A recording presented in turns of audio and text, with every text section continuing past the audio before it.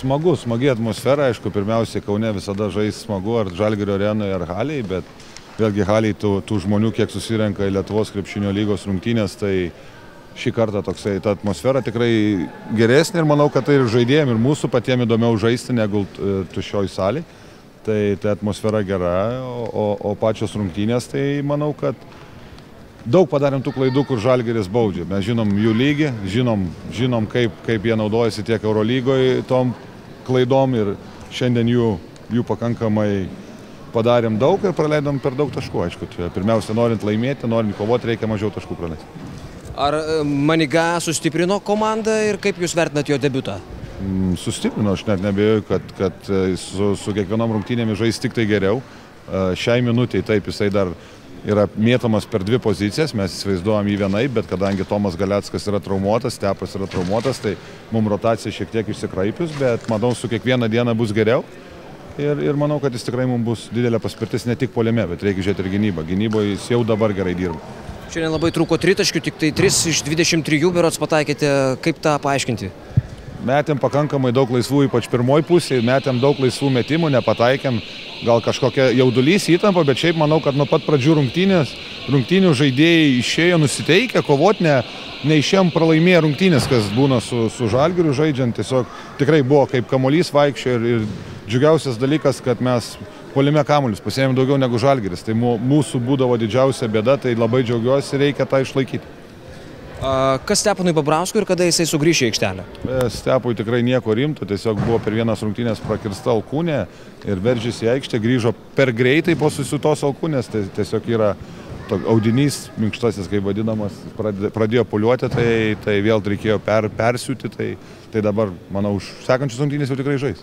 Jūsų komandoje Martinas Varnas Žalgerėtis, kaip vertinat jo žaidimą ir būtent čia tą jaudulį prieš savus Aš nemanau, kad Martinas jautė kažkokį ypatingą jaudulį. Aišku, čia jo reikia klausti, bet momentais geriau, momentais prašiau. Tai jaunas žaidėjas, mes duodam jam daug pasitikėjimo, o, o visą kitą reikia užsitarnauti. Tai manau, buvo gerų momentų tiek gynybai prieš Milaknį, patiko, kaip šiandien gynėsi, žinojo, kokią Milaknio stiprią pusę ir, ir aišku, buvo tam tikrų klaidų, bet jų neišvengiam. Bet mažai kamuolių gauna. Iš čia kraščiai vienam ir kitam praktiškai. Reikia žaidėjus mūsų kviesti, tada duoti pilos, kad negauna kamolių Martinai. Įspūdžiai nelabai geri. Tikrai, manau, sužaidėm labai blogas rungtynės.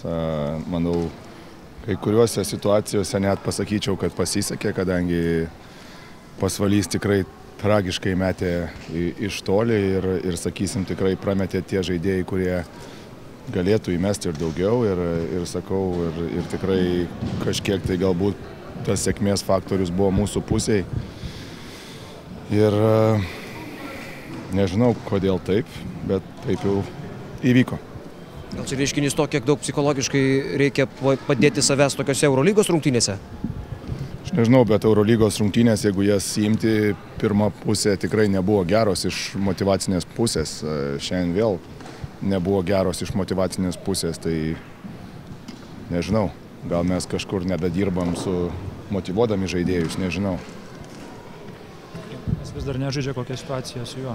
E, krūvius didina, man atrodo, arba rytoj, arba antradienį jau bandys tikrai su komanda treniruotis ir žiūrėsim, šiaip reikalai eina į gerąją pusę. O ar, ar galės žaisti, kaip sakant, pabandęs tą jau krepšinio dalį, tai galbūt antradienį paaiškės ar trečiadienį. Šiandien daugiausiai Gytis Masiulis žaidė, kaip jisai naudojasi tuo šansu? Gytis galbūt dar ir nieko, bet e, sakysim tikrai irgi, jeigu visumo imti, tai sakau, e, labai prastos rungtynės. Kaunas Portugalė, koks jausmas čia ją sugrįžti? Puikus. Gaila, kad galbūt žaidėjai nesupranta, kad tai mūsų krepšinio meka. Sakys, sakiau, atvažiuoji į New Yorką, Amerikoje negali blogai žaisti, atvažiuoji Lietuvoje į Halę, negali blogai žaisti. Man čia malonumas grįžti, aš jau užaugau. Kaifas. Tik dabar vabiškai dūmų per daug, bet šiaip tai kaifas. Treneris stebėjot savo žaidėjus, bet yra dar vienas paskolintas, komandiruotas į pasvalį Martinas Varnas. Ką apie jį galėtumėt pasakyti? Nu, tai, uh, kol kas nelabai ko stebina. Uh, sakysim, vėl jaunas žaidėjas, galbūt pirmi metai LKL ir reikia jo laukti. Uh, sakau, uh, sunku jam integruotis į tą LKL. Tikrai tas žingsnis iš, iš, uh, iš NKL į LKL yra, yra didelis žingsnis ir galbūt jam prireiks laiko įžengti stipriau. Bet sugrįši žalgį. Nežinau.